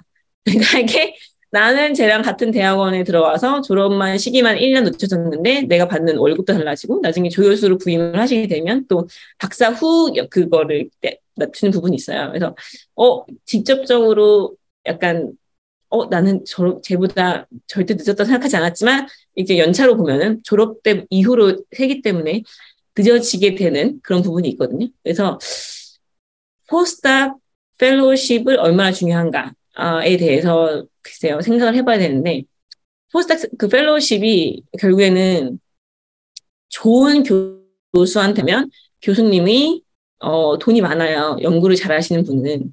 그렇기 때문에 fellowship이 중요하지 않을 수 있어요. 근데 또 좋은 연구실에 가면 또 이런 fellowship을 받을 기회가 더 많아져요. 왜냐면은 이거를 fellowship application을 심사하시는 분들이 다 보거든요. 얘는 지금 postdoc 지도교수 누군지 어느 학교에서 postdoc을 하고 있는지 이걸 다 보거든요. 그때 당연히 하버드에서 가장 잘하는 교수님 밑에서 postdoc을 하고 있다.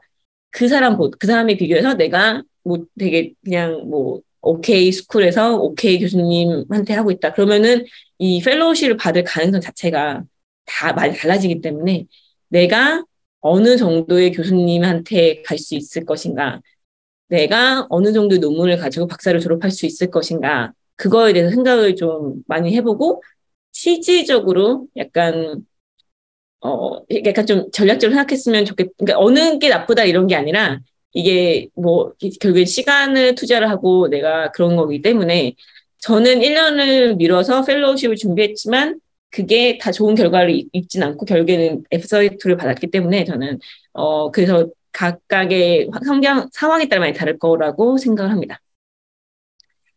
그래서 이제 미국에서 어떻게 하면은 이제 한국과의 네트워킹을 유지할 수 있을까? 그거에 대해서 좀 말씀드리려고 하는데, 저 같은 경우에는 박사를 이제 7년을 했기 때문에 한국보다는 미국에서 조금 더 오래 있었잖아요. 박사과정을 하면서. 만약에 박사를 하시면서, 뭐 한국이든 미국이든 좋은 연구 결과를 내면 알아서 연락이 와요. 그러니까 이게, 이게, 이게 부익부 빈익빈인데, 내가 Cell Science Nature를 냈다, 뭐 대표 표지 논문이 됐다, 혹은 뭐, 어, 그 F, Thousand 해가지고 되게 중요한 논문으로 선정이 됐다. 교수님들 연락이 와요. 어, 어, 어, 박사 논문 낸 거 봤는데, 우리 학교 뭐 Zoom으로 해가지고 세미나 좀 해주지 않겠나? 연락이 와요. 그러니까 좋은 연구를 실제로 가지셨으면은 걱정하실 필요가 없어요. 근데 이 세이 사이언스 네이처에 혹은 뭐 자매지에 내시는 분들이 아닐 수 있죠. 아니면은 이제 좀 더 스스로 발품을 팔아야 되는 부분이 있어요. 저는 이제 추천드리고 싶은 거는 이게 한국인 과학자 협회가 굉장히 많거든요. 그러니까 저 같은 경우는 뉴욕 base니까 New York Korean Biologists, 그다음에 이제 보스턴 base는 New, New England Bioscience Society. 그래서 보스턴을 postdoc 하신 분들은 이 NEBS를 보통 아실 거예요. 혹은 보스턴에서 하셨던 분들은 그리고 이제 KOLIS는 이제 Bay Area에서 샌프란시스코에 있는 분인데 이게 그냥 단순히 그냥 참가하고 그 컨퍼런스 애니얼 컨퍼런스 할 때마다 가서 사람들 얘기하고 그런 것만 하시면 좀 부족해요. 제가 추천을 드리고 싶은 거는 리더십에 들어가세요. 왜냐 그 분들한테 교수님들이 연락이 와요. 내가 그래서 저는 뭐 지금 이대지만 뭐 서울대 의대에서 혹은 뭐 연대 의대에서 아 우리가 이번에 뭐 면역학을 뽑을 건데 어디 괜찮게 연구하는 사람 없나 이랬을 때 이제 뭐 recruiting 가시는 분들도 있고 미국에 실제적으로 아니면 뭐 세미나들을 하시는 분들도 있고 이런 과학자 협회에 연락을 해요 보통 왜냐면 contact 할 사람이 없잖아요 그러니까 뭐 내가 아는 학생이 거기 가서 postdoc을 하고 있다 이러면 되겠지만 그 학생이라고 해서 그 학생이 거기에 있는 보스턴에 있는 모든 postdoc들을 아는 건 아니지 않습니까 그렇기 때문에 보통은 한인 과학자 협회 뭐 거기 대표하시는 분들한테 연락을 해요. 그럼 그 대표도 모든 학교를 다 알고 있는 건 아니잖아요. 그럼 결국엔 뭘 하냐? 학교 대표님들한테 연락을 해요. 아, 그 학교에 이러신 분이 있을까요? 추천을 해주세요. 혹은 아, 이 내용을 그 학교 교그 포닥 혹은 뭐 대학원생들한테 뿌려주세요. 이런 식으로 어떻게 보면 중간 역할을 하게 되는데 그 중간 역할을 하게 되면서 아 귀찮을 수 있죠. 왜냐면 나 연구해야 되는데 아 여기 시간 쓰고 막 이메일 교수님들 이메일 보내고 아 너무 귀찮아. 근데 거기에서 장점은 뭐냐 하면 그렇게 그 교수님들이 시적으로 뭐 보스턴이나 뉴욕이나 다른 데 왔을 때 어, 이기현, 이기현 박사. 어, 아, 그때 나 연락했던 이기현 박사. 어, 어, 어, 그, 그, 그, 그, 포닥 아니야. 아시는 거죠. 내 이름을. 왜냐면 나랑 이메일을 한 20통을 왔다 갔다 했으니까. 그러면 좋은 게 뭐냐. 내가 한국에 돌아올 때, 혹은 돌아오려고 했을 때, 나를 아는 교수님이 절대적인 숫자가 많아야 돼요. 이게 이 장단점이 있는데 그러니까 내가 Cell Science Nature를 낼 거다 그러면 오케이 하실 필요 없어요. 그게 아니다. 내가 생각할 때 내 프로젝트는 음 뭐 잘하면 잘했지. 음 Nature Comm 음 너희를 제맥스 이렇게 되면 이런 걸 좀 하셔서 내가 한국에 들어가는 게 목적이다 하시면 무조건 무조건 하시는 게 좋다고 생각합니다. 특히나 그냥 뭐 그냥 뭐 커미티 멤버 이런 거 하지 마시고 대표를 하세요. 왜냐? 대표한테 이메일이 가요. 교수님이 서울대 의대, 뭐 서울대 약대, 카이스트에서 아 생명과학과에서 아 우리가 신임 교원을 뽑으려고 한다. 누구한테 연락하냐? NEBS, 콜리스, NIKB 대표한테 이메일이 와요.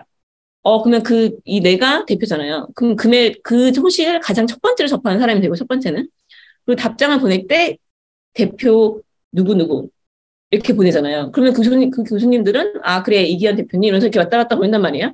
어 그렇게 되면은 이런 식으로 되면 내 내가 생각할 때 국내에 있는 웬만한 학교들이랑 연이 생기는 거죠. 나를 아는 교수님들이 좀 생기는 거죠. 그리고 사람은 누구, 누구든지 간에 내가 그 사람한테 진심을 다해서 도와주면 그분들도 나를 나중에 도와주려고 해요. 그렇기 때문에, 어, 내가 그분들한테 이렇게 최선을 다해서 한다면, 당, 당연히 나중에 그분들이 더 도와주려고 합니다. 이게 제가 생각할 때, 아, 근데 내가 생각할 때 나는 핵인싸도 아니고, 이가 아니어가지고, 나는 이런 거 못하겠다. 이러신 분들한테 좀 추천을 드릴 만한 그런 게 아닐까 생각하는데, 학회에 한국 교수님들이 오시거든요. 근데 생각해보세요. 여기 이제 석사 박사 하시는 분들은 아시겠지만 한국에서 교수님들이 막 여기 하시다가 여기 네트워크 잘 되어 있는데 외국 학회에 갔을 때 시적으로 거기에서 막 네트워킹 되게 잘 되어 계시는 한국 분들이 있지만 있지만 안 되시 좀 좀 외롭거든요. 한인 교수님들이 뭐 한국에서는 막 아 그래도 내, 뭐 내 내가 아는 사람도 많고 그러는데 갔는데 막 아는 사람 별로 없고 이러면 막 되게 좀 외로우실 수 있어요. 그때 누군가가 나타나서 아 교수님 어디서 오셨어요? 어떤 연구하세요? 이런 거 좀 말 걸어주고 그러면은 되게 고맙죠. 그러면은 명함도 이렇게 교환을 하게 되고 어 그 학생 어디 뭐 저는 코넬 의대 어 코넬 의대에서 뭐 주기세포 한다는 그 학생 어나 어, 알지 알지 약간 이런 식으로 각인이 될 수가 있거든요. 이게 그 학회는 다 아시겠지만 되게 규모가 되게 다양한데 전 세계, 전미 이런 가장 어떤 필드에서 가장 큰 학회가 분명 있어요. 매년 열리는. 그때를 가면 몇 천 명, 몇 만 명이 이제 하기 때문에 보통은 한국에서도 교수님들이 다 가세요. 뭐 적게는 뭐 한 열 명 이하, 많게는 몇십 명이 가시거든요. 분명히 그분들끼리 모임이 있어요. 왜냐면 그분들끼리도 막 한국도 서울에만 있는 게 아니니까 뭐 대전 뭐 다 다양하게 있기 때문에 그런 학회 가도 봐요, 교수님들은. 그럼 학회 가서 교수님들끼리 저녁 식사하고 술 한잔 하고 약간 그런 모임이 있거든요. 그럼 그런데 한 번 초대받으면 어떻게 됩니까? 한 번 내가 그 식사를 감으로써 내가 알고 알게 되는 교수님들이 열대 명으로 늘어나잖아요. 이게 저는 약간 치트키라고 생각을 하거든요. 그러니까 저가 실제적으로 제가 그게 했던 거는 이게 ISCR이라고 이제 스템셀 리서치 하시는 분들이 가시는 게 약간 세계적인 학회가 있어요. 그 학회 를 제가 2016년에 샌프란시스코에 있을 때 왔어요. 근데 샌프란시스코에서 그때 박사하던 친구가 있어가지고 만나기로 했는데 그 친구가 어 누나 내가 아는 교수님도 주기세 파셔가지고 학회 오셨어요. 그분 만나볼래요? 잠깐 해서 가, 잠깐 커피를 마셨어요. 근데 그 교수님이 아 우리 다음 우리 내일 우리 교수, 교수끼리 만날 건데 올래? 이래가지고 갔어요. 근데 어떻게 돼요? 거기에 열몇 명이 모여 계신데 저만 대학원생이고 다 교수님들이죠. 그리고 그 교수님들은 이 한국의 모든 그 거의 웬만한 학교에서 주기를 하고 계신 분들이잖아요. 이렇게 되면은 이제 어 그래 그래 그때 그 ICR에서 만났던 걔 이런 식으로 제가 이제 각인이 되는 거죠. 이거는 어떻게 보면 대형 학회에서 어떻게 보면 좀 운이 따라야 이게 되는 부분이 있는데 이게 좀 전략적으로 접근하실 거면은 학회 초록집이 나와요. 거기서 한국 교수님들을 뽑을 수가 있어요. 왜냐하면 한국 교수님들은 학생들을 데리고 오는 경우가 많거든요. 포스터를 봐요. 포스터에서 약간 어플레이션을 봐요. 그러면 약간 맨 끝에 지도 교수님이죠. 지도 교수님이랑 해서 어, 이 정도면은 지도 교수님이 오시죠. 그런데 내가 관심 있는 분야 혹은 나랑 좀 얘기가 통할 것 같은 분 포스터에 가요. 그날 포스터에 그 포스터 몇 개 있거나 혹은 하나 있으면 지도 교수님이니까 당연히 내 지도 학생 포스터에 가 있잖아요. 그렇지 않나요? 아니면 돌아다닐 수도 있지만 그렇게 되면은 내가 그 지도 교수님, 내가 그 한국에 계신 교수님들을 모르는 분이지만 그 지도 학생의 포스터에 가서 질문을 하고 나를 소개하고 혹은 그 주변을 맴돔으로써 한국에 계신 교수님들이랑 친할 수 있는 어떤 그걸 만드는 거죠. 근데 교수님 입장에서는 어때요? 어, 미, 뭐 미국에서 혹은 뭐 유럽에서 뭐 박사하는 호닥하는 친구인데 내가 모르는 친구인데 어 내 지도 학생 포스터에 와가지고 질문도 되게 날카롭게 하고 어 나한테도 친한 척하고 어 고맙죠 당연히 연을 맺고 싶죠 이렇기 때문에 대형 학회에서는 약간 그런 approach가 필요할 것 같고 소규모 학회 제가 말했던 Gordon Conference나 Keystone 같은 경우에는 목표가 이 컨퍼런스 목표는 정말 외딴 곳에 이런 연구부 연구하시는 분들을 몰아넣고 이제 mingle하게 만드는 게 목표예요. 교수든 대학원생이든 postdoc 상관없이. 그럴 경우에는 이제 약간 이게 social을 엄청 잘하시는 분들도 있는데 약간 약간 엇거닥게 계신 분들도 있어요. 그러면 어떻게 된다? 이제 명찰을 봐요. 어 한국 분이네. 그럼 이제 쓱 가서 아 어디서 오셨어요 교수님? 이렇게 얘기를 할 수가 있죠. 그리고 어차피 이런 키스톤이나 골든 같은 경우에는 필드가 굉장히 굉장히 내려가기 때문에 거기에 오셨다고 한 말은 어차피 나의 연구랑 연관이 될 가능성이 굉장히 높아요. 그러면은 연구 쪽으로 얘기를 해도 되고, 혹은 뭐 어떻게 보면 좀 인간적으로 이렇게 접근했을 때 나를 밀쳐내실 분들은 별로 없거든요. 물론 있어요. 물론 아 이런 거 좀 싫어하시는 분들 있어요. 이러면 좀 자기가 좀 봐야죠. 아 내가 말을 걸었을 때 싫어하실 싫어하시면 당연히 이렇게 그냥 백업 다른 분한테 가고 근데 좀 약간 어, 예, 예 저는 뭐 어디 뭐 카톨릭 대학교에서 뭐 하고 있어요, 의대에서 뭐 하고 있어요. 그러면 어, 네, 네, 네 이렇게 하면은 나중에 명함 교환하고 그리고 여기서 가장 중요한 거는 이렇게 알게 되신 교수님한테 팔로우 이메일을 보내야 돼요. 이거는 딱 한 방이에요. 내가 한국에 들어왔을 때 나를 세미나를 시켜줄 수 있는 분들을 만드는 거거든요. 명함을 받았잖아요. 교수님들이 명함을 받았을 때 거기 이메일이 있어요. 거기 이메일에 팔로우 이메일. 아, 교수님, 뭐, 케이스턴 템포리즘에서 만나, 만나게 해서 반가웠습니다. 앞으로 한국에 들어갈 일 있으면 연락드릴게요. 이러면서 내 CV 딱 이메일 첨부해가지고 이메일을 보내는 거죠. 이렇게 되면 어떻게 돼요? 그냥 만났을 때 좋은 인상 받았던 것 뿐만 아니라 이메일이 옴으로써 그 내 이름을 기억을 하게 되잖아요. 제가 생각할 때 팔로우 이메일을 써야 되는 게 가장 중요하다고 생각하거든요.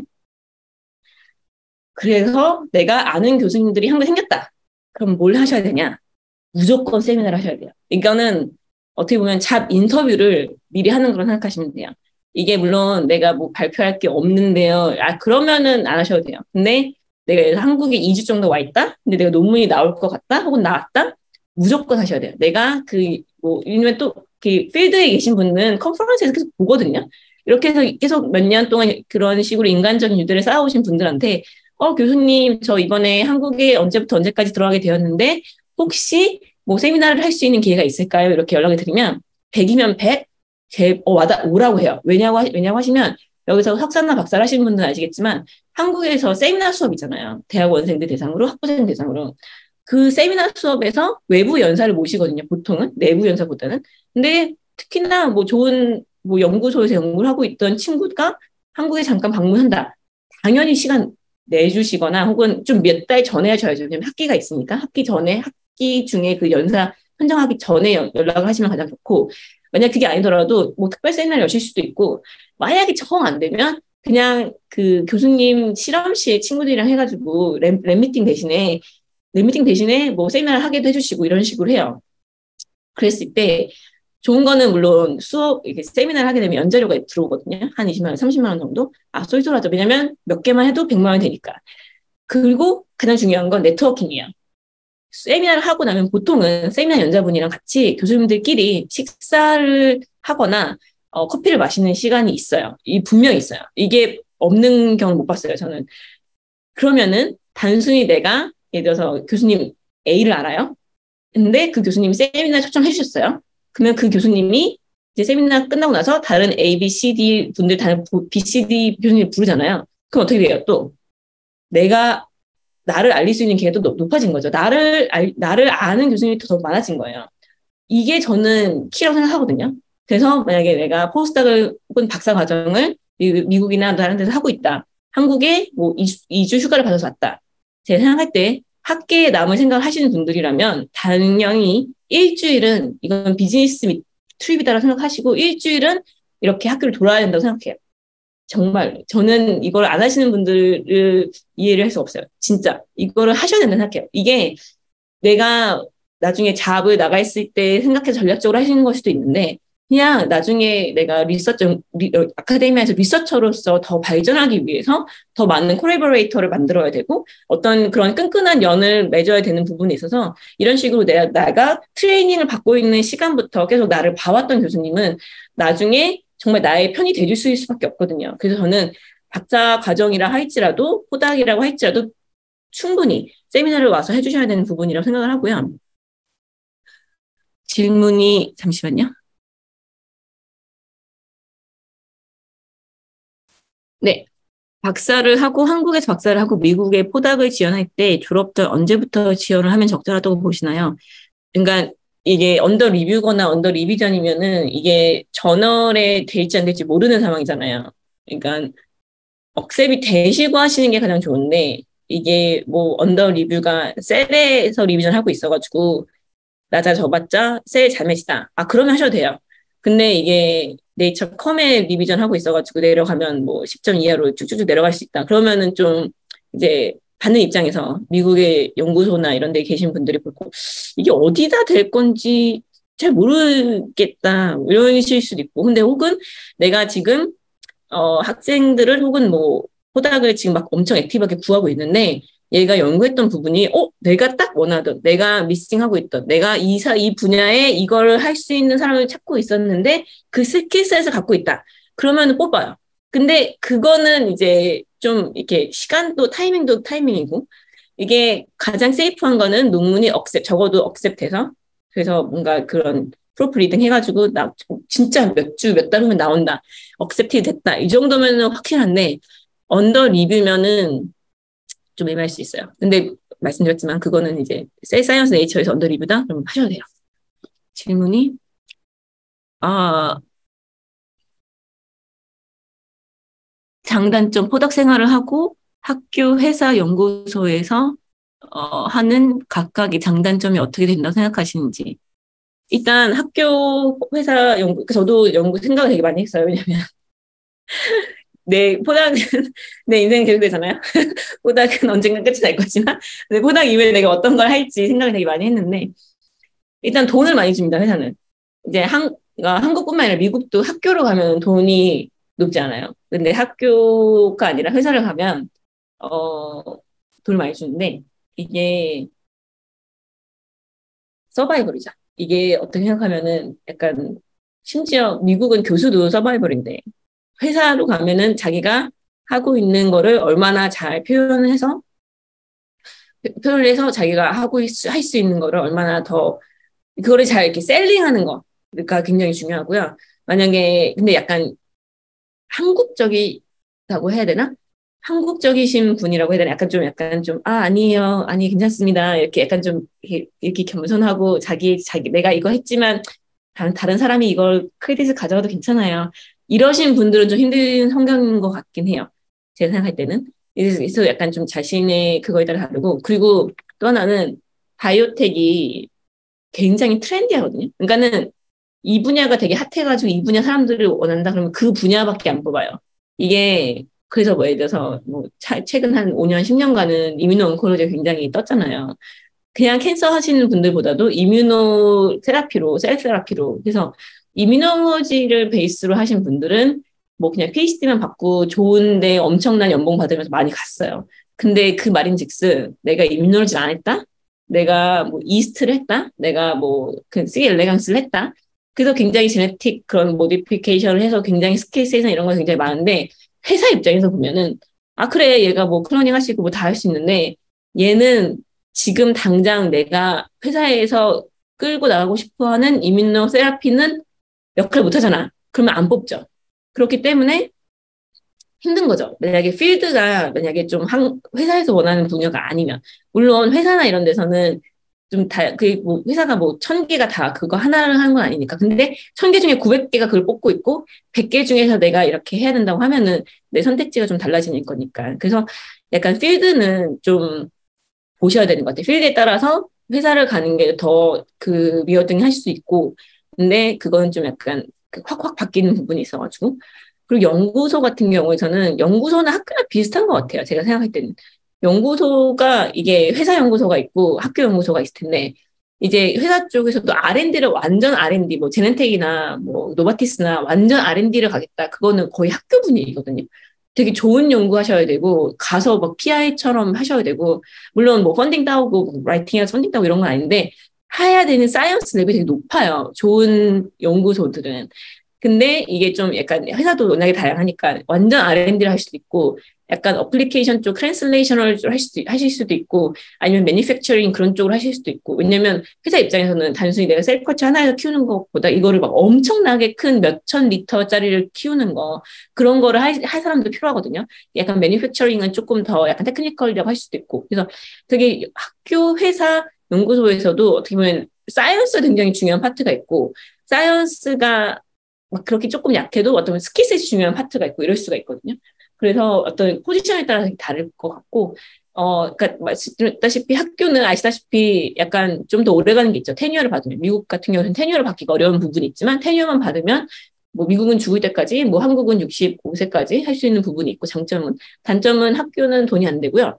어, 회사는 장점은 돈을 많이 줘요. 근데 잘릴 수 있어요. 그리고 미국은 뭐, 뭐 노조나 이런 부분이 아니고 정말로 free will이에요. 그러니까 회사가 필요하면 언제든지 layoff 할 수 있고요. 그 코로나 시작되자마자 취업한 지 한 달 된 친구한테 얘기 들은 건데 그 회사에 딱 recruit, new recruit, 딱 그 신입사원들이 모두 다 Zoom에 초대가 됐대요. 50 몇 명이. 근데 딱 그 대표가 Zoom에 로그인해서 바로 한 말이 이 줌 미팅에 들어온 모든 사람은 지금부로 그 fired라고. 그러니까 layoff라고. 이게 왜냐면 미국은 정말 자유경제 시대이기 때문에 어떤 그런 security, job security 면에서는 어, 한국보다 굉장히 떨어져요. 근데 장점은 뭐냐면 그런 식으로 약간 이렇게 flowing 하는 인력들이 워낙에 많다 보니까 그리고 바이오텍 자체가 굉장히 크다 보니까 어, 그렇게 됐더라도 괜찮아요. 왜냐면 준비해가지고 인터뷰 준비해서 apply 해가지고 다른 데 가면 돼요. 그리고 만약 그런 식으로 회사 잘랐다. 3개월 연봉이 나와요. 3개월치 월급이 나오고 3개월치 health insurance 줘요. 그 말인즉슨 3개월 동안 네가 준비해서 다른 회사 가라 이거예요. 그렇기 때문에 어떻게 보면은 이제 잘려서 진짜 마음이 상처를 받죠. 하지만 그렇다고 해서 그게 인생의 끝이 아니다. 미국은 그게 너무 당연하기 때문에 회사도 그렇지만 한국 회사도 그렇지만 나도 아 이 회사 마음에 안 든다. 그러면은 이제 회사 낮에는 회사에서 일하고 밤에는 다른 데 인터뷰 봐서 그냥 옮기면 돼요. 이게 더 언제든지 더 좋은 조건이 오면 내가 옮길 수가 있기 때문에 이게 내가 능력만 되면 뭐 학교에서 교수하는 것보다 몇, 몇, 몇, 몇, 몇 배, 몇십 배의 연봉을 받으면서 굉장히 잘 나갈 수 있는 환경이에요. 능력이 되면. 근데 이제, 아, 그냥 난 9 to 6 job으로 그냥 뭐 stable하게, 그거는 힘들어요. 조금. 미국에서는, 미국에서는, 미국에서 회사는 좀 힘들어요. 어, 그런 부분이 있을 수 있고, 그리고 이제 연구소는 어 이제 한국 한국에도 미국에 있는 학교랑 비슷하다. 리서치 레벨이 좀 높아야 된다. 그리고 이제 job safety도 학교에 비해서 조금 떨어지는 부분이 있다. 그리고 연구소도 연구소 자체가 타입이 되게 다양하기 때문에 연구소에 따라서 다를 것 같아요. 왜냐하면 제가 있었던 Gladstone Institute는 연구소지만 학교로서 역할을 되게 많이 하는 부분이 있기 때문에 국내에서 하다가 미국으로 포닥을 지원을 합니다. 어, 지원 시 경력이 있는 사람을 원하는 곳으로 지원하는 게 맞나요?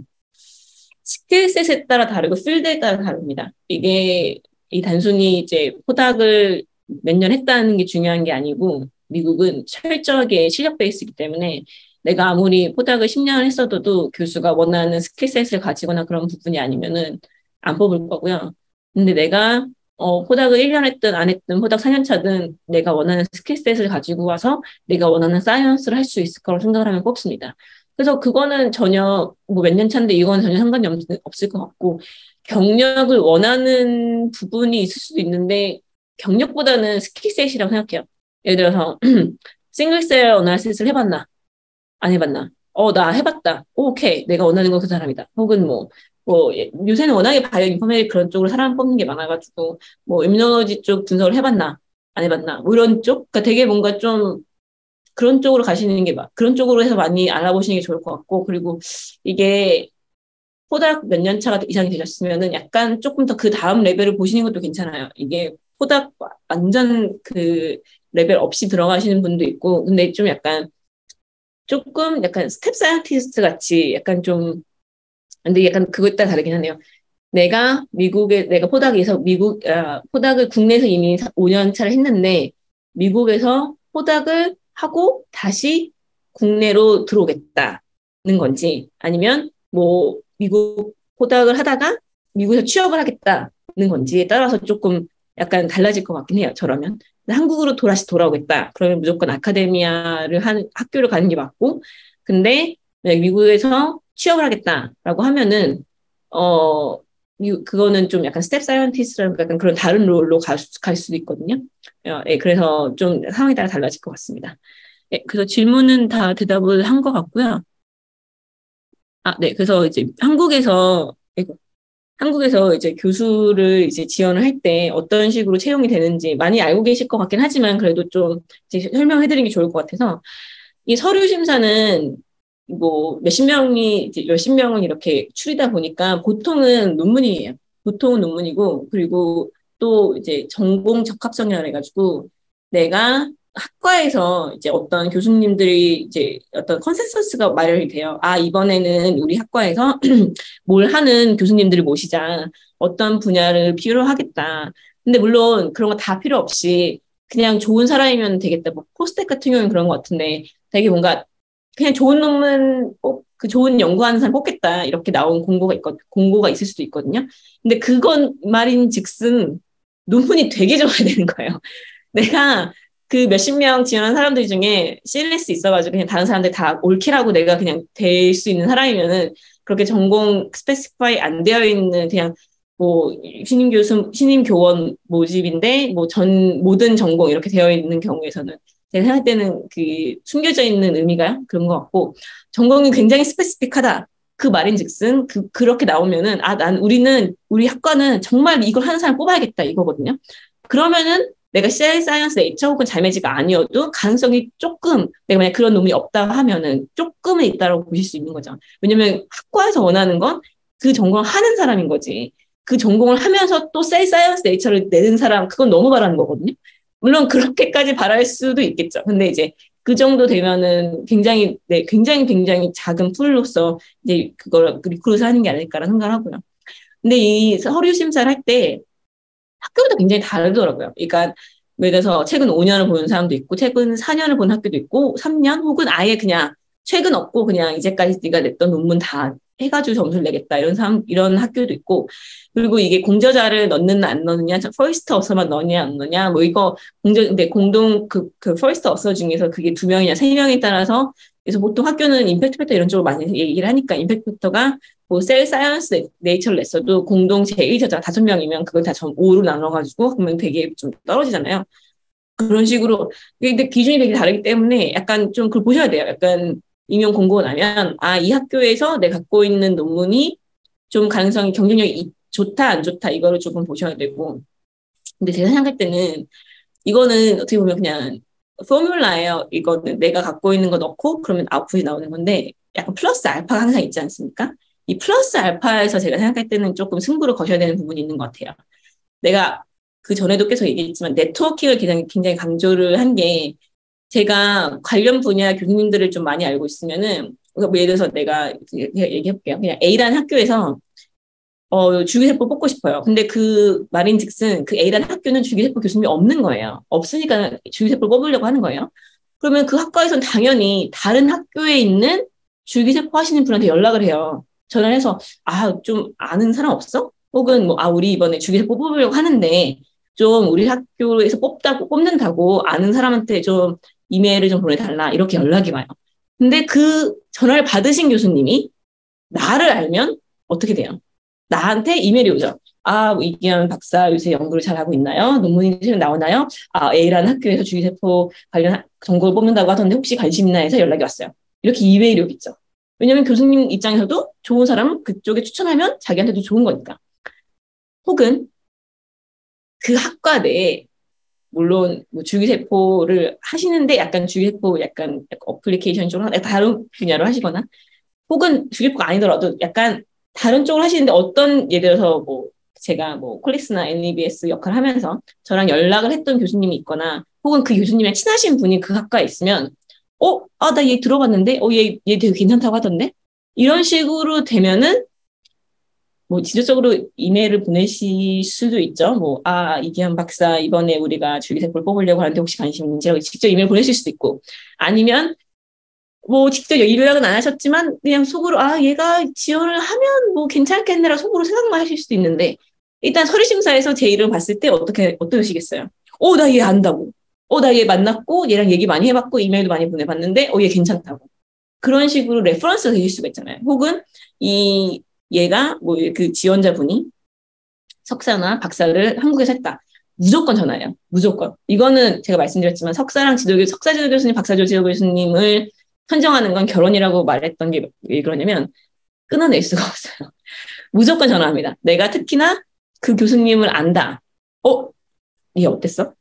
분명히 전화하기 때문에 그 지도 교수님이랑 친하신 분이 학관에 있어도 좋을 수 있죠. 그렇기 때문에 어떻게 보면은 일단 지도 교수님과의 관계를 잘 해놓으시고 두 번째로는 지도 교수님과의 관계가 좀 안 좋을 것 같다. 그러면은 나를 직접적으로 아는 교수님들 많이 만들어서 그래서 나에 대한 reference가 여러 방면에 대해서 들어갈 수 있도록 해라. 그게 제가 생각할 때는 첫 번째인 것 같고요.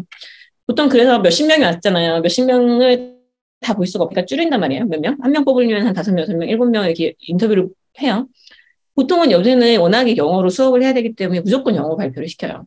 근데 뭐, 뭐, 해외 박사를, 해외 박사를 했든, 뭐, 국내 박사를 했든, 뭐, 외국에서 포닥을 했, 했으면은 그리고 뭐 한국에서 보닥을 해도 자기 영, 자기 영, 연구 내용은 당연히 영어로 발표를 잘 해야죠. 왜냐면 국제 학회에 가서 톡도 했을 것이고 포스터 발표도 했을 것이니까. 그리고 그게 가장 또 중요한 거는 어, 미래 계획을 서 내가 퓨처 플랜, 내가 이 학과의 조교수가 돼서 이런 이런 연구를 할 것이다. 그런 거를 해야 되는데 이게 뭐 생명도 되게 다양하잖아요. 내가 하는 분야를 잘 아시는 부, 분이 계실 수 있는데 그분이 절대로 한두 명 이상은 아니에요. 그러니까는 뭐 약간의 30명이 있다고 하면은 내가 하고 있는 내용을 100% 이해해서 커멘트를 하실 수 있는 분은 몇 분 안 돼요. 10분이 안 된다고 할게요. 그럼 나머지 20분들은 어때요? 얘가 뭘 하는 것 같기는 한데 잘 하는지, 뭐 하는지 그런 분들을 설득을 시켜야 되는 거잖아요. 나를 잘 셀링을 해야 되는 거잖아요. 그럼 어떻게 해야 돼요? 어떻게 보면 굉장히 좀 브로드한 스콥에서 왜 내 연구가 내가 꼬마 선충에서 이런 genetic 뭐 스크린 했더라도 이게 어떤 식으로 뭐 human disease drug discovery 혹은 뭐 disease 업 그런 메커니즘에 연관이 될 수 있는지 굉장히 큰 broad한 스펙트럼으로 얘기를 해서 내 연구가 왜 그런 big picture에서 중요한가 이런 거에 대해서 굉장히 영, 얘기를 잘 해야 되죠. 내 연구만 딱 얘기가 끝나면 아 이거는 힘들어요. 내가 어떤 식으로 이런 거를 적용을 할 것이고 그리고 또 학과 교수님들은 이제 인터뷰 이게 받으면 학과 교수님들에 대해서 뒷조사를 해야 됩니다. 내가 생각할 때 이 교수님이 하시는 분야는 뭐 알코올성, 간, 독성 이러다 그러면은 말을 뭐 굳이 슬라이드까지는 안 넣더라도 말을 하는 거죠. 주규세포를 이용한 연구가 간, 알코올성 간독성과 같은 실질적으로 인간을 이용하기 어려운 질환의 경우 이런 식으로 판매를 하면 이제 교수님들 같은 경우에는 원래 자기 하던 것만 이렇게 하시던 분들이 많기 때문에 이렇게 듣고 있다가 어? 아 그거? 어 그것도 가능해? 약간 확 이렇게 땡긴단 말이야. 그런 식으로 이렇게 한 단어를 넣어주면 뭐 이래서 약품 약품에 대해서 그래서 그런 제가 이런 제가 이런 genetic screen을 함과 동시에 small molecule을 small molecule을 이용한 뭐 이런 식으로 얘기를 하면 small, small molecule 하시는 분들이 어 어, 또, 아, 그럼 또 내가 하는 거랑 또 연관이 될 수 있겠구만. 이런 식으로 키워드를 넣어주셔야 돼요. 이거를, 이거는 이제 하기 나름이긴 한데 제가 생각할 때 팁이라고 한다면 교수님들 30명 있으면 30명들마다 그 팁을 키워드를 뽑아서 그 교수님들이 듣고 있다가 이렇게 한 번씩 깜짝깜짝 놀라실 수 있게 이름은 이렇게 안 하셔도 돼요. 너무 이렇게 너무 티나게. 근데 내용상으로 내 연구랑 그 교수님들의 연구가 어떻게 연결이 될 수 있는가 그거에 대해서 하시는 게 좋고요. 그리고 각 학교마다 인재 상이라고 이게 한 번도 이제 지원을 한 번이라도 해보신 분은 이제 검색하시게 되는데 뭐 저 같은 경우는 이화 여자 대학교 인재상 혹은 뭐 카이스트 인재상 뭐 서울대 이렇게 검색을 하면 그 연구소 혹은 그 학교에서 키워내고자 하는 인재상들이 있어요. 원하는 인재상들이 있어요. 뭐 기독교 정신에 입각하여 뭐 여성 리더자 이렇게 나오는 경우가 있고 저 이대 같은 경우에서는 그거를 내가 이거를 할 수 있다. 혹은 내가 이런 인재상들을 인재상에 맞는 학생들을 이끌어낼 수 있다. 이거를 꼭 넣어주셔야 돼요. 이거는. 근데 이거는 좀 총장 면접에서 조금 더 중요한 부분일 수 있고요. 채용 공고에 제가 만약에 이게 전 과 목, 전 분야면 상관없는데, 만약에 굉장히 specific하게, 예를 들어서 뭐, 뭐, 약, 뭐, 뭐 어, 굉장히 specific하게, 뭐, CRISPR를 이용한 뭐, 뭐, 이렇게 나왔으면은, 거기에 나온 문구를 그대로 넣어야 돼요.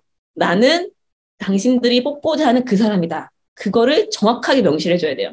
나는 CRISPR를 이용한 뭐 genetic screening을 할 수 있는 사람이다. 이거를 정확하게 말해줘야 돼요. 그래서 전공 적합성 그 그게 점수를 100점 나올 수 있게 그리고 다시 한 번 말하지만 나를 아시는 분 혹은 나를 아는 교수님과 친하신 분이 그쪽에 있으면 이렇게 좀 뭐 한마디를 할 때, 어, 얘 이렇던데, 어, 그런, 아, 근데 걔 내가 아는 교수랑 친한데, 뭐 보니까 뭐 이런 거 같더라고. 이런 식으로 이렇게 여론 형성에 도움이 될 수가 있어요. 그래서 내가 이제 면접을 잘 봐서 총장 면접에 올라갔다라고 하면 이게 이게 좀 그 총장 면접까지 갔다가 안 되신 분들이 있어요. 그분들은 1등이 아니었던 건데 학과에서는 점수를 교수님들 회의를 통해서 무조건 1등부터 2등, 3등 이렇게 나오거든요. 근데 한 명만 올릴 수가 없어요. 총장 면접은 한 명만 올리진 못하기 때문에 보통은 1순위랑 2순위의 점수 차이를 좀 둬서 올려요. 그래서 아 총장님 이 1순위가 저희가 원하는 사람입니다. 이렇게 올리는 건데, 그지만 2배에서 3배에서 올리기 때문에, 그, 이름 하면 죄송하지만 2위랑 3위 분도 올라가세요. 그래서 내가 총장 면접까지 갔다. 기뻐하셔야 돼요. 당연히. 당연히 기뻐하셔야 되는데, 내가 1인지 1위가 아닌지는 모르는 거거든요. 이거는, 그래서 내가 여기까지 가서 기쁘지만, 안 될 가능성을 생각을 조금은 하셔야 돼요.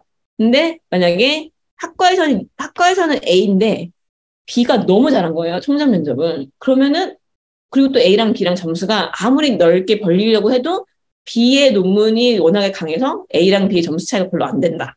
그랬을 경우에 이게 뒤집힐 가능성도 있다고 들었어요. 그리고 만약에 총장이 A를 뽑고 싶지 어떤 이유에서든지 간에 A를 뽑고 싶지 않다라고 표명을 했을 경우에는 그게 그냥 완전히 안 될 가능성도 있어요. 이게 학과랑 이게 무슨 종합대학으로 치면 학교 본부랑 어떻게 보면은 이게 좀 이게 그런 게 있는데 이게 학교마다 또 다르고 학과 힘이 굉장히 센 경우도 있대요. 이런 경우에서는 이게 보통은 이제 하이아키가 두 명의 총장님인데 이 학과에서 이렇게 강하게 추천이 들어가면 이거를 노 비토를 한 경우가 역사상 없었고 그럴 일도 없을 것이다.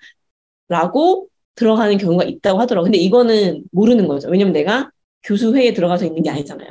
내가 그냥 인터뷰를 하는 입장에서는 일단 이렇게 총장 면접의 기회가 주어지면 무조건 이제 그 학교에 대해서 그냥 A부터 G까지 공부를 해서 이 학교를 내가 왜 오고 싶은가 그거에 대해서 굉장히 스토리텔링 잘 하셔야 되고요. 이 학교가 원하는 인재가 나다.